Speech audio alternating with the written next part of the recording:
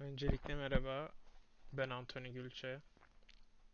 Bu yönlendirilmiş çalışma okulumuz Medipol Üniversitesi Bilgisayar Programcılığı'nın yönlendirilmiş çalışma dersi için final sunumu çekiyorum bir nevi. Yönlendirilmiş çalışma dersinde ben bir oyun projesi yaptım. Bir platform oyunu dizayn ettim, tasarladım. Eee, oyunda iki tane ekranım var. Bir başta bir de oyun sonrasında göstereceğim. İsterseniz beraber oyunu inceleyelim. Oyunumun başlangıç ekranı bu gördüğünüz. Eee ID giriliyor. ID girildikten sonra başlaya basıyoruz. Ondan sonra da oyunumuza geçiyoruz.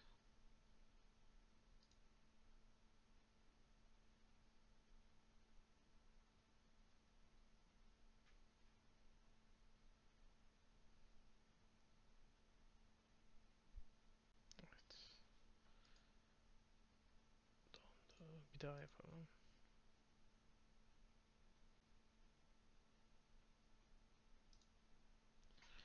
Evet oyun ekranımız geldi. Şimdi başlarken ID'mizi girelim mesela. Deneme 94. Başlaya basıyoruz. Evet, bu da oyun ekranımız. Em, oyunda her karakterlerin, oyunda gördüğünüz her karakterin bir animasyonu var. Oyunda coinlerim var, canlarım var burada, coin'im, coin sayacım var, canım, can barım var, skorum ve skor barım yazıyor. Ee, bir de düşman çeşidi olarak iki çeşit düşmanım var. Bir kartal düşmanı, bir de em, şöyle, bir de kurbağamız var. Ve em, gördüğünüz gibi hem durduğunda duruş animasyonu, sola döndüğümde karakter sola dönüyor, sağa döndüğümde sağa dönüyor. Yukarı zıpladığımda karakter yukarı bakıyor, aşağı düştüğümüzde karakter gene aşağı düşerek bakıyor. Bu bütün animasyonlarını yaptım. Ee, bir de göz gitmeden önce ateş mekaniğimiz var. Şöyle göstereyim. Mesela ateş et, mouse'un sol kliğine basarak ateş ediyoruz. Ve nereye bakarsak o tarafa doğru ateş ediyor. Bu şekilde. Zıplarken de ateş edebiliyoruz. Ve coinlerimiz. Mesela coin'imizi alıyoruz. Coin sayacımız 4. Skorumuz da 10 puan artıyor. Coin'ler skora 10 puan ekliyor. Canlar da 10 puan ekliyor. Şimdi bir saniye. Canımızı alıyorum. Mesela canı aldık. Şimdi düşmanlara çarptığımızda düşman bizi geri itecek. Gördüğünüz gibi. Düşman bizi geri itti ve bir can almıştık daha demin canım tekrardan sıfıra indi. Yani düşmana çarptığımızda canımız gidiyor. Düşmanı da öldürelim. Düşmanı öldürdüğümüzde de böyle bir efekt çıkıyor gördüğünüz gibi. Bunun animasyonunu da ben yaptım. İşte her karakterin ölüm animasyonu ve hareket animasyonu var. Kurbağanın da öyle şekilde. Nefes alma animasyonu. Em, kurbağamız da belli bir alanda gidip geliyor.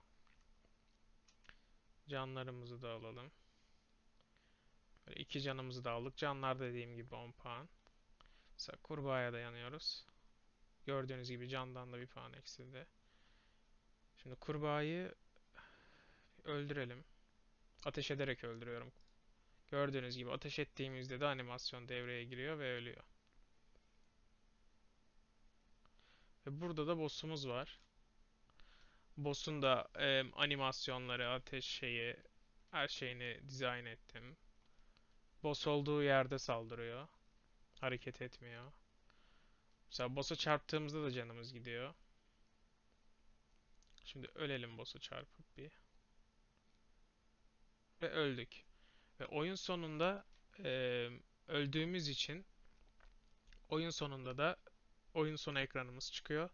Ve e, girdiğimiz ID ve skor çıkıyor. Ve e, girdiğimiz ID'ler burada. Skorlar da sağ tarafında oyun sonu ekranında çıkıyor. Ve oyunumuz böylece bitmiş oluyor.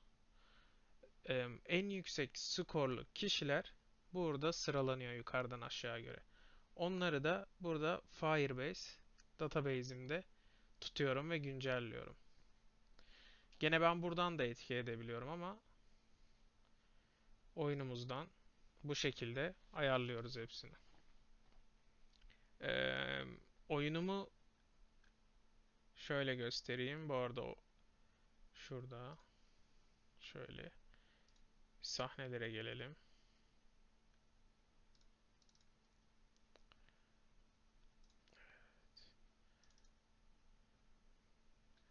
Burada ee, evet mesela e, bütün oyunda gördüğünüz objelerin, karakterlerin, oyun başı, oyun ekranı e, sonlarının neredeyse çoğunun hepsinin bir script'i var. Böyle e, çoğu şeyi mesela düşmeyi de Fireball'da olsun. Hepsini bir tane script içine yazıyorum. Şuradan oyuncuya da gelelim. Sonra scriptlerimize de bakacağım. Burada oyuncu kontrolümde böyle e, hem karakterimin hızını ayarlayabiliyorum, zıplamasını ayarlayabiliyorum. E, hurt force yani e, karaktere çarptığımda geri dönme şiddetini ayarlayabiliyorum. Burada gene e, scriptimiz var. Fireball yani ateş topu gönderdiğimiz alev topunun. Onları da kodları bu şekilde. Tekrar oyuncuya gelelim. Gene e, fırlatma noktası yani başlangıç noktamızı buradan belirliyoruz. Can sayacımız. Hepsi bunların coin'i aldığımız tekstlerin hepsi bu oyuncu kontrol panelimizde. Burada da gözüküyor. Buradan da kolay bir şekilde oyun yapımcısı olarak yani buradan ayarlayabiliyorum.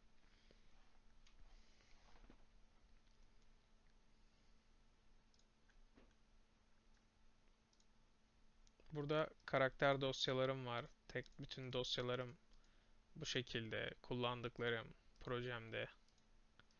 Her şey dosyamın içinde.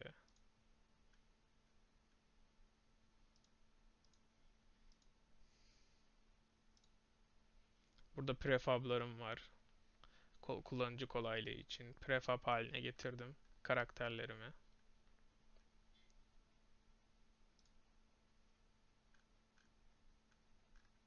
Bir de e, kodlarımıza bakalım. Burada e, DB yani hazırladığım DB'nin kodları var. E, kendim hem veriyi alıyorum hem de o veriyi Firebase'e kaydediyorum ve ondan sonra burada da veriyi çekiyorum.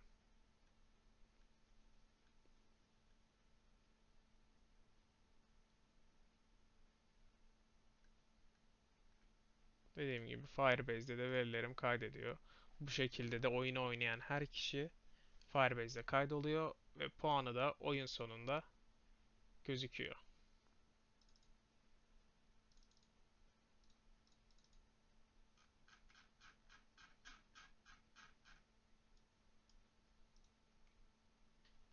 Bu arada oyunu belirttiğim gibi 3 sahneden oluşuyor.